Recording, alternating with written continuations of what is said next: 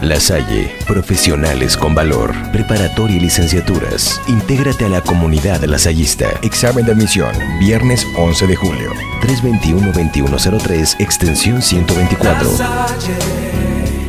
profesionales con valor. Pruebas de talento sábado 12 de julio. Miguel Herrera debe continuar como director técnico de la selección mexicana, consideró el jugador de Monarcas Morelia, Cristian El Recodo Valdés, quien elogió el trabajo que realizó el Piojo en el Mundial. Sí, la verdad sí.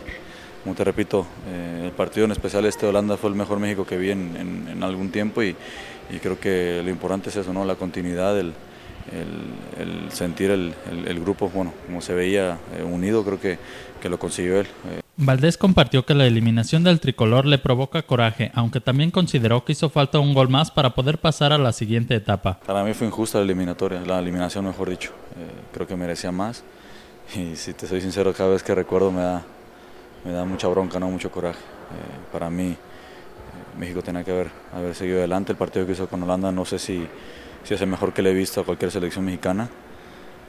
Me gustó mucho cómo, cómo jugó, cómo encaró el partido y y me gustó la superioridad que mostró en 70 minutos. Creo que por ahí faltó capitalizar en algún gol más para tener un poco más tranquilidad. Respecto al tema de la pretemporada que tendrá el Club Monarcas Morelia, el mediocampista dijo que el objetivo es buscar una regularidad positiva para iniciar bien el torneo local.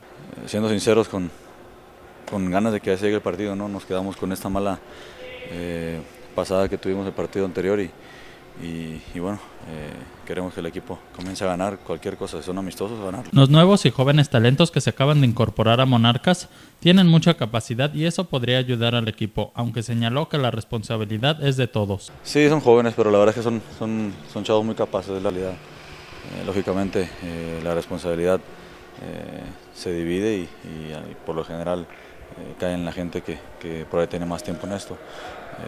Eh, ellos ojalá que, que puedan sacar su mejor fútbol, para bien de ellos y lógicamente si le va bien a ellos, le va bien al equipo. El Club Monarcas Morelia inició este día su entrenamiento en la capital michoacana. Con información de Andrea Fernández, informa Guasar TV.